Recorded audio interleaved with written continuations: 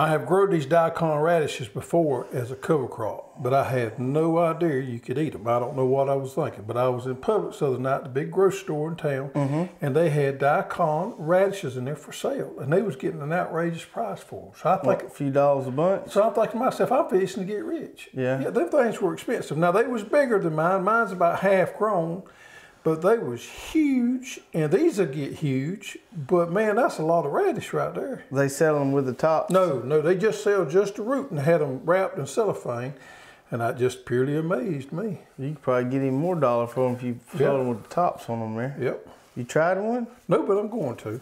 right now? Yeah. Like a big old white carrot. Yeah. Just think. It ain't as spicy as them other ones. It ain't near as spicy as them other ones. It's got a good flavor. It's more like a turnip. Mm-hmm. I'm pretty good. But it don't have the spiciness. I've heard of folks getting high dollar for these things.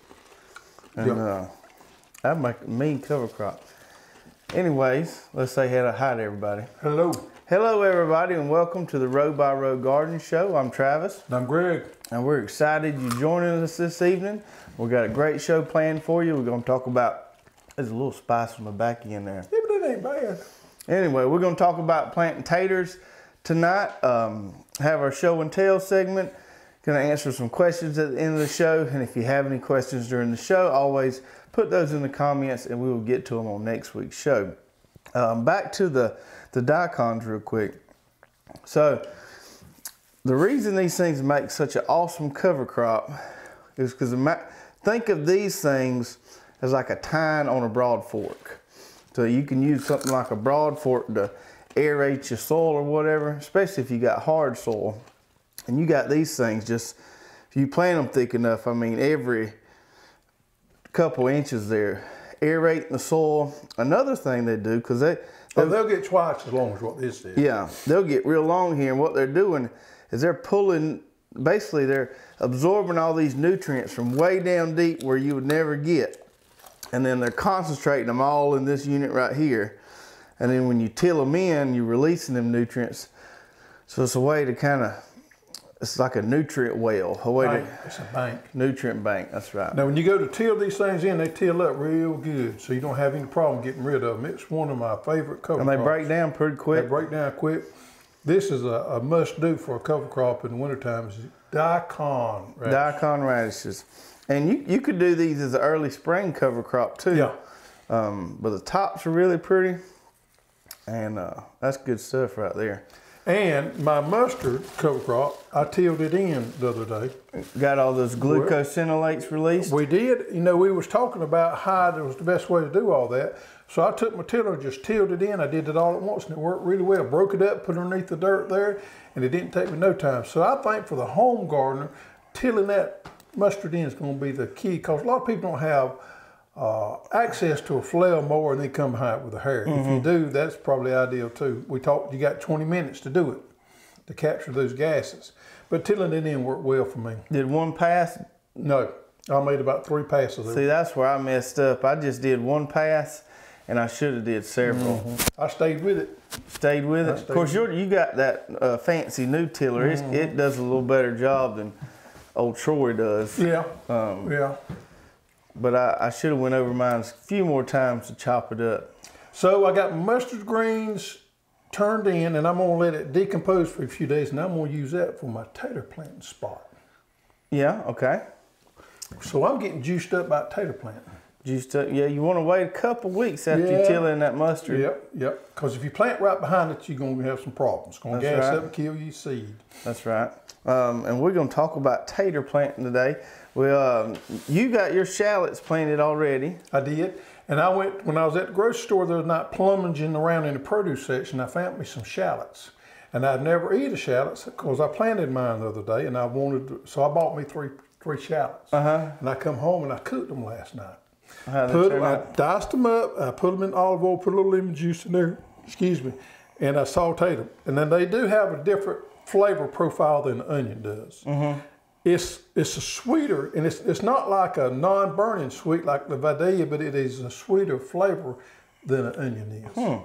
So in stews and soups and things like that, I can see where that flavor profile would be uh, beneficial over an onion. Okay. So I'm gradually becoming a shallot fan. Good deal. Good deal. And I got me three rows planted, by the way. I'm gonna plant me some maybe tomorrow, if not this weekend, and uh, shoot a little video on it. I think I've got a neat little trick up my sleeve of how I'm gonna get these shallots from uh, my hand to the dirt. We'll see how it works on the video. Okay. Um, did, did you did you happen to? Uh, I know you don't always watch all the videos I post. Did I you watch some of them. Did you did you watch the one we posted yesterday? I did. So, um, did if you if you haven't seen the video, we posted a video yesterday. We were posing the question: if you could only have five hand tools to work your vegetable garden with, what would you pick? And um, I picked five on the video, and you can go check that out on our YouTube channel. And uh, I just wanted to get your thoughts if you could replace one or Yeah, or I would what swap one out. And there was a couple of people mentioned this on the group. I think the wheelbarrow, I'd have to put it in there. I liked your pick, but I'd have to replace one of them with the what would you take out for the wheelbarrow? Uh, maybe the bat wing. I don't know. Okay, just not have a hoe. Oh, I, I, I, Because you can only have five. It's, it's tough. That's tough. But I definitely would work the wheelbarrow in there somewhere. I don't know. That's gonna, I'd have to step and not think about that one. Because if you, you take out the shovel, a wheelbarrow ain't gonna do you much good if you ain't got a shovel. Right? Right. Got to have a digging fork and Yeah. a rake. Yeah. Yeah.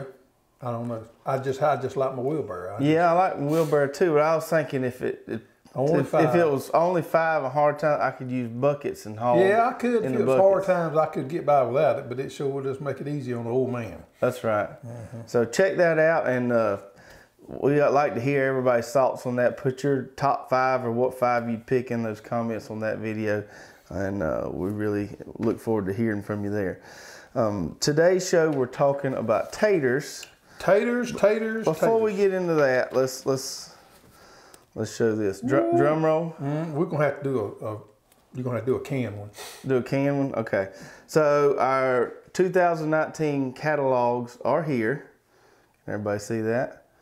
And they should be hitting mailboxes maybe as of the airing of this video, if not the next few days. Um, if you ordered from us in the last, actually, if you've ever ordered from us, uh, you should be receiving one.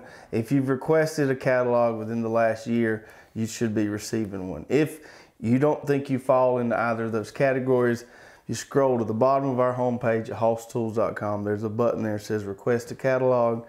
You can get put on the list there, and usually within a couple weeks, we'll have you one. So this is our 2019 catalog. A lot of good stuff in here. We opened, we started off with some seeds in there. There's about four pages of seeds. Now, because this catalog can only be so big, we just kind of picked our, our favorites to put in the first couple pages there. If you want to see the whole selection, go online for that. Because we got lots more seed and we add more every day. Right. We can only put so much stuff in this catalog. We can put everything on the website. So this is kind of as a teaser. You go on the website, you'll see absolutely everything. Um, so we've got our drip irrigation. We got new attachments in there. Um, you got your high arch in there, which is becoming ever so more popular. All kind of good stuff in there. So if you get the catalog, take a look at it. Not, go ahead and request you one and we'll get one sent to you. Now on to the taters. So last week we uh, gave everybody the news that we was carrying taters, and we got them on the site. I think as of Friday, we got four varieties. You want to recap those real quick? We got Did the you bring a knife? I don't have a knife on me. Do I have a knife? Doggone right, I got a knife. Let's cut them open. So we got four varieties. We got the Yukon Gold, which is a got a nice yellow flesh on it. Which is, which is, in my opinion, the go-to tater. Makes real big taters. We've got the Adirondack Blue. Adirondack blue, and if you got kids or grandkids in your family, you got to grow a few of these. Now, th- would this be the only tater I grow? No, but I would definitely throw some in the mix because you could make you some blue mashed potatoes out of that, and that'll really be a trick for them youngsters. They'd like to see that kind of stuff, or you can fry them, whatever. But it's really entertaining to cook some of these up, and they're good. So the Adirondack Blue, then we got the Red Norland, which is an improved variety of red tater, or with a white skin on there. That's your new potato. That's your new potato. Everybody wants to grow the white potato, so there is your white potato. If you got to have a white tater. And then the last one here is called the German Butterball. And this is, This the one got the butter built in right there. okay, Now this is a smaller potato. It's good for roasting and things like that. It's got a probably a little bit higher flavor profile. I use that a lot on now. Yeah. Flavor mm-hmm. profile. But it's a good tater right there. Okay, so we've got those four. We've got two more coming that are on back order, but we've got those four now. And um, a note about the potatoes, in case you don't know, you can't ship taters if it's freezing outside. If they freeze, they will ruin. So, as it says on the website, we will ship them as soon as we can. And by that, we mean we'll look at the weather that morning. If we can, if we can get them to you in time, we will. So, And the reason why we decided to procure potatoes because 90% of the companies that sell seed potatoes are up north. And us people down in the south, when we get ready to order seed potatoes, they cannot ship them to us. So we're able to bring them in here and ship them out to these people in them southern zones like zone 7, zone 8, and zone 9, zone 10. We can ship them out to you when they can't, and you can get them and get them in the dirt. You, you go to, to any other seed company online and they'll tell you we're not going to ship start shipping taters to April 19th or something like that. And by that time, we, We should got have. them up. We got them up and laid them by one time. That's right. So um, we wanted to give the opportunity uh, for the southern growers to have potatoes earlier, and then also as as temperatures warm for the nor- northern growers as well. I will say that we do have a, I won't say a limited supply, but when we're out, we're out. So uh, if you if you want them and are ready to plant them, You can go ahead and order them, and then we'll ship them when we can, which would be before your planting date. I can promise you that. I don't even care if you're in zone 10. If you need some potatoes, you go ahead and order them, and we'll get them out to you. And we do have a trick or two up our sleeve. If we think it's going to get too cold, we might work something out. The deal you need to remember: if you order them from us, you're going to get them in time. That's right. That's right. And we're going to talk about potato planting dates too. I'll show everybody this. So, my main man here, Greg, has been back there packing taters. It's not something I want to do full time, by the way. And this is we have each all, each of those four varieties. We have them in 10 pound, 25 pound, and 50 pound bags. This is a 10 pound bag, just to give you an idea what it looks like. That's plenty enough for a 40 foot row of taters, if not a little more. You know, 25 pound bag's gonna be two and a half times size that, and a 50 pound bag's gonna look like a feed sack. Or you can go in with your neighbor and order you a bigger sack and split them with you. It won't cost you quite as much. You get a little better deal. So if you got a neighbor or two that does like to plant potatoes, y'all go in together and figure out what you need and put that order in. Split them up. That's a good idea there. Okay, so let's get into to more specifics about growing potatoes and planting potatoes.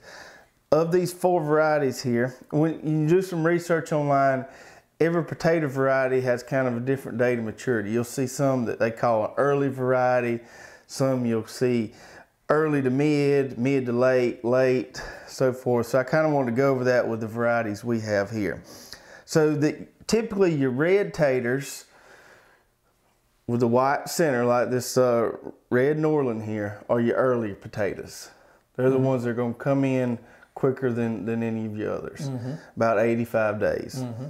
And then as you move on down the line, what they call kind of early to mid would be this one here, the Adirondack Blue, and that's going to be 90 day tater. Mm-hmm. Your Yukon Gold is kind of what they call a mid or mid to late, and that's going to be 100 days.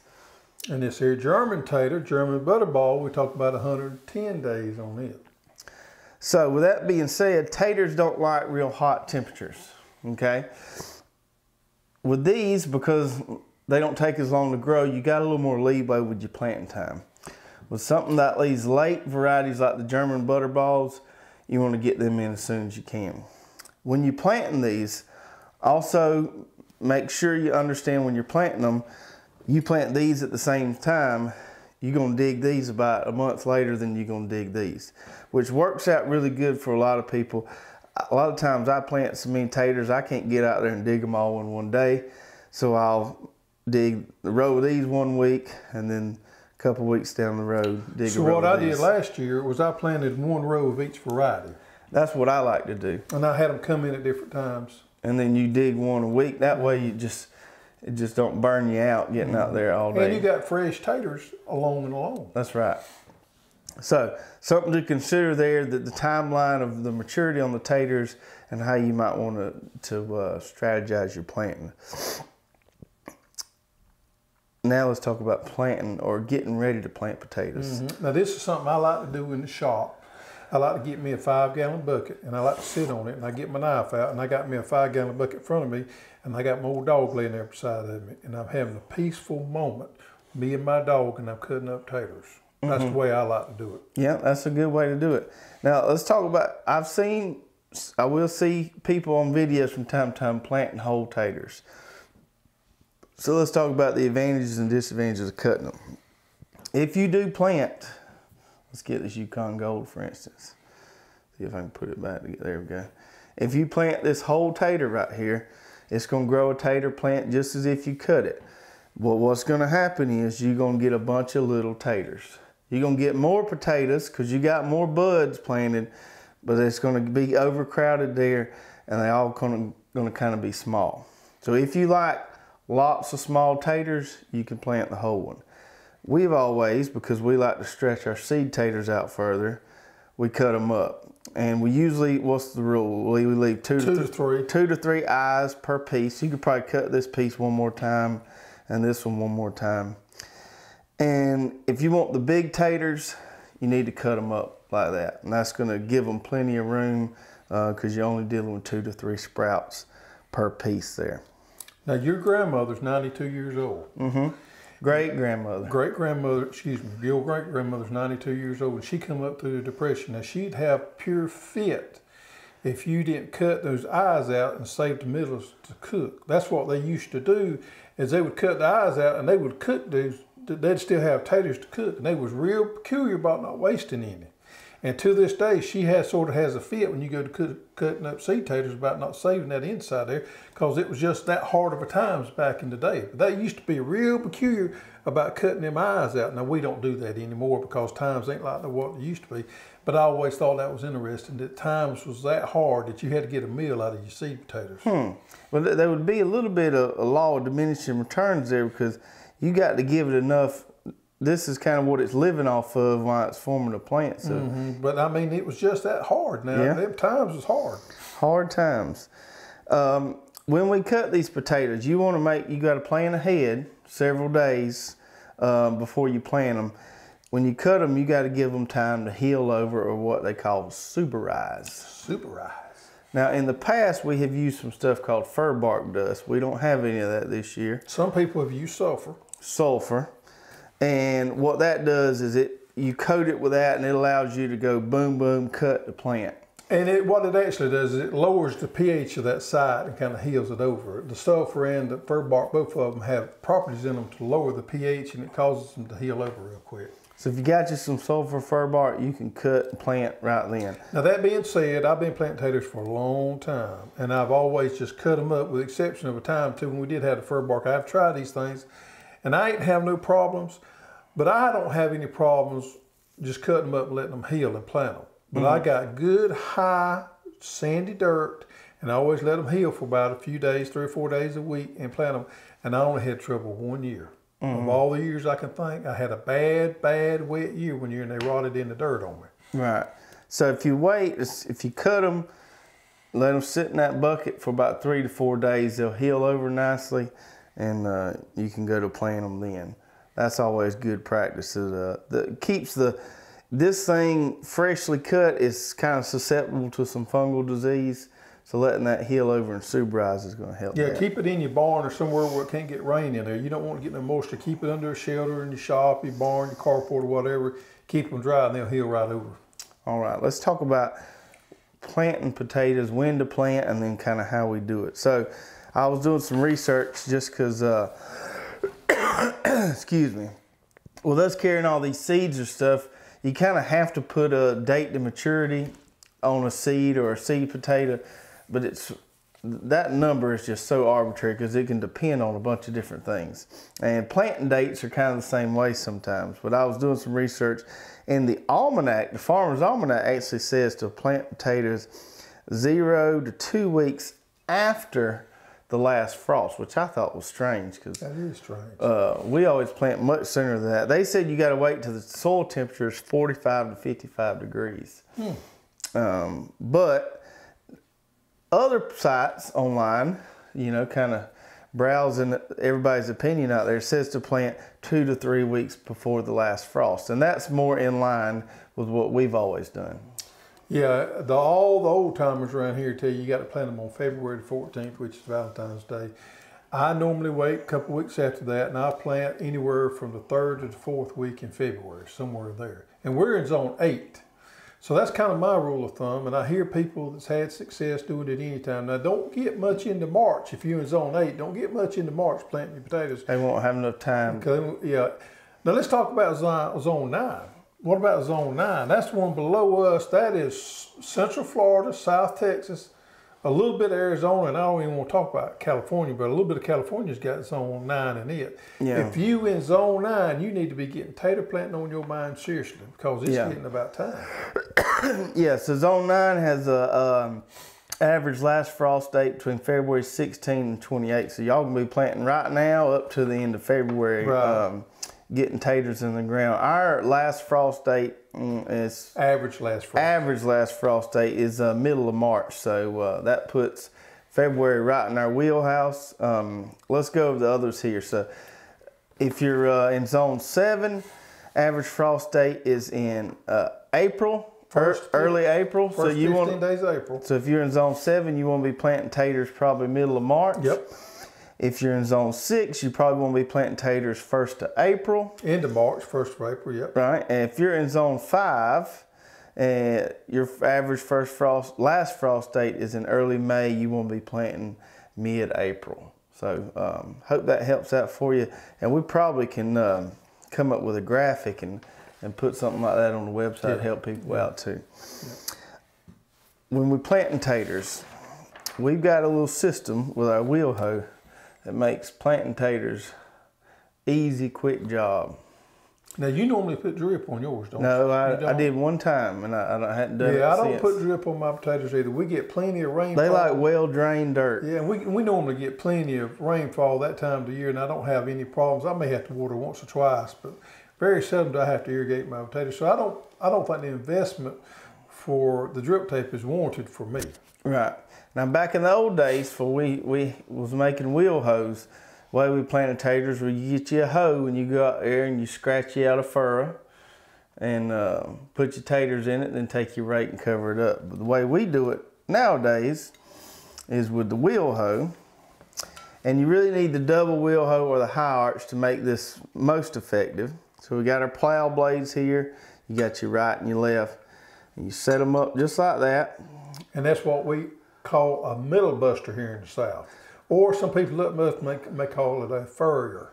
Right. So we put them in what we call the furrowing position there, the middle buster position, and that's going to make you furrow for your potatoes. That's going to make a furrow about four to five inches deep, depending on how soft your soil is, which is perfect for mm-hmm. setting a tater down. Now there you got your potatoes in your bucket that's already healed over, and you always want to plant that healed side down and plant them up. For you people up north that may not understand that, that means just like that right there. Eyes pointing towards the Eyes sun, pointing up. so they can grow up. Yep, you do them like that right there, and you're gonna have upside down potatoes. They ain't gonna work for you. So, uh, and and how far apart would you recommend setting? Now I normally go about eight inches on mine, mm-hmm. somewhere in there. That's what I would say. Uh, for some of the smaller uh, varieties of taters, if you was planting some tiny fingerlings or something, you could probably stack them in there thicker than that. Yeah. But for these ones that get a little larger, eight inches I think is mm. good. And then once we lay them down in the furrow, we got to cover them up. Yeah. So then our plows were like this, and then all we do is switch them around like this. And with that double and high arch, we can straddle them and cover them right up. And we've got bukudos of videos out there showing how to do this. But you're talking about quick. Makes easy work out of it. Yeah, the, the thing that takes the longest time is actually putting the potatoes down But you can zip up, close up them rows in no yeah, time. and get your wife and your children, grandchildren out there help you plant them taters, and you can stand up there and act like you peeling with the plow, getting it set up, and, and you, they'll be through, and you go out there and just wheel it in and cover it up. yeah, and make you look like the Make smart one. the hero. Hero. That's right. So we, we close them up, and then um, I don't water mine. I, I've heard different theories on this. Should you water them before they come up out of the ground or not? My thoughts are that they're using all the nutrients from this tater meat uh, until they get up and form roots. So I try not to put any water on mine until they emerge. Yeah, that can be one of your biggest uh, issues with them rotting in the dirt. If you do get a uh, a flutter and uh, stay real wet, so I don't either. I like to get them up before I start putting water to them and fertilizer. I particularly, for one, don't like to put fertilizer in my row and plant potatoes on there. I've, excuse me, I've seen people do that in the past. I like to get them up and get it started before I start hitting with fertilizer. Now I can put some compost in there. I've done that before and that works out fine. But I don't like to use commercial fertilizers. Put it in the fur and then plant potatoes on top of it. Mm-hmm. So once we see them leaves emerge from the ground, it's fair to assume there's roots down there. Then you can start giving them some water if you like. Let's talk about fertilizing potatoes. So last year I tried this as an experiment and it worked pretty dang good for me. Once my taters came up, before I hilled them the first time, I had me some good chicken manure compost and I went and I just put it between my rows. Okay, I didn't put it on top close to the plants, just put it between the rows. So then when I threw the dirt on top of them or hilled them, it was nice and mixed in. It was right there. And man, they took off. Yep. Now that was some fresh litter you had It was fairly hot. It was fairly, and that's why I didn't put it down when I planted. Right. Now, if you got compost that's worked off, that's fine to put it in that fur and plant in there. But I would not put fresh manure in there. So, um, but but that worked good. Side dressing that way. You could also side dress with some Chilean nitrate, probably. Uh, you could soil drench for maybe some 20 20 20. Sure. What's your preferred uh, way to fertilize? I like to hit it with 10, 10, 10 one time. Then I like to hit it with some uh, Chilean nitrate. Just on the And side. And I will, and I yeah, and on the side, and I will heat it. I will side dress with some 20, 20, 20, but I normally do that uh, on like a weekly to bi-weekly basis. If I get in uh, a little bit of a tight, I put me some 10, 10, 10 out there on it. Yeah, taters like to be. I won't say they're as bad as onions and corn, but they like to be fed. They like to be fed and they like to be covered up. They like to be covered up. That's that's one thing you can hill them up as much as you want, and so I like to do it usually about once every two weeks. The first time you hill them, you can do that with the wheel hoe, Yep. and then you're gonna have to get out there with a hoe and a rake, and uh, sure enough throw some You start getting 'em. some weeds in there, just cover them up with dirt. And We'll we'll hill them up as tall sometimes, you know, one to two foot tall. Some folks got those fancy um, hipper hilling discs on the tractors. They Yeah. can really Yeah. really do it up. So, did you want to talk about the? Uh, Oh, now there's a little bit of problems with blight on potatoes. So if you have if you have a problem with blight, and blight can work in there pretty quick and cause some problems with your foliage. You see it die, by, that- uh, die down. You need to get some liquid copper. You can hit them potatoes with it, and that'll help you with your blight problems. So if you got a history of blight, or it's a place that you have gardened for a number of years, and you could very well be susceptible to blight. You want to get some of this liquid copper and have on hand seven to 14 days intervals in there. Hit it with this right here, and that'll help with your blight. Blight and uh, potato uh, bugs is basically the only two pests that you have.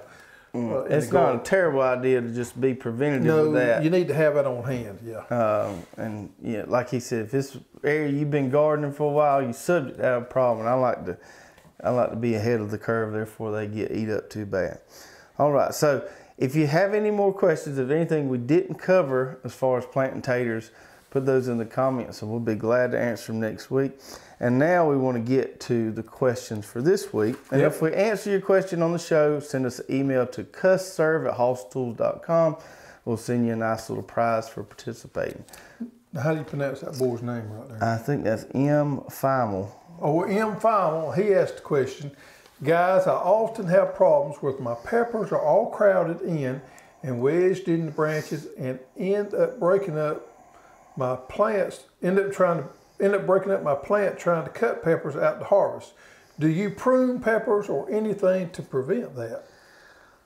I don't. I, I understand what he's saying, especially when you're using the Florida weave trellising technique. As you're adding a new line of string there, it tends to bunch up that plant, and you'll get peppers in there, and they're hard to get out. A couple solutions there. When you're when you're running your string to trellis them, try to get that string on the main stem of the plant, so it's not smushing all the leaves together. Uh, if you have a hard time doing that, another solution is to go with the cages as opposed to maybe the Florida weave. Those cages are going to let it sprawl out more, give you a little more airflow. And that helps you with disease problems too. It does. So um, be more particular with your trellising or, or go to something like cages. I don't prune them. I'll prune the bottom few when I do my first line of trellis so I make sure I get it on the main stem. But I usually don't prune peppers. Um, the cages work really well too. I've had good success with those. And we sell the, I, I wouldn't get the tall cages for peppers, The but small ones are, the are well- smaller 40 inches or so work great for peppers. Yeah. And then our second question is from Xavier 3520. And he, he was digging back in the YouTube archives way on back there. And uh, he said he saw an old video where we talked about we were saving money on onions by growing our own uh, from seed and uh, wondering if we was going to offer any onion seed. Well, you know, that's a great point that he brings up there. We have grown our plants in the greenhouse before. That's before we started working with Dixondale. Uh, buying, buying your plants already and just having them come in and plant them is the easy way to do it. Now, I'm not saying you can't plant them in your greenhouse, and that may be something we look at from time to time, is offering some onion seed. Maybe an opportunity. I don't know that we're going to offer it this year, but we may offer them before. But it's just easy for us to work with somebody like Dixondale, order them plants in, they come in, and we plant them. We always have good luck with them. That's right, and and probably back when we made that video before we had a the relationship we have with the onion folks now, and uh, Brian does us a solid, and he told me that our onion plants this year. He went out there and pulled them by hand, and uh, Personally, personally, he wanted to make sure. Uh, I know I always kind of stay on him about getting my onions early, and uh, he made sure we get them early, and we really like folks over there. I don't know how many acres they plant, but I know they got 2,200 acres there where they grow onion plants on. And what type of uh, rotation did he Six take? year. Six year rotation before they plant onions in the same spot again for disease and stuff. they got this rig on a tractor that digs up the onion plants faster than they can tie them up. It's amazing. They got that thing from overseas, somewhere Belgium or somewhere over there. It's uh, it's a pretty neat deal. But um, yeah, uh, we just like them folks so well, and they do such a good job with onion plants. We'll, we let them have the onion plant thing. We might carry some onion seeds if somebody wants to start doing that. All right, and that's going to do it for today's show. And um, hope you enjoyed it, and we will see you guys next week. Take care.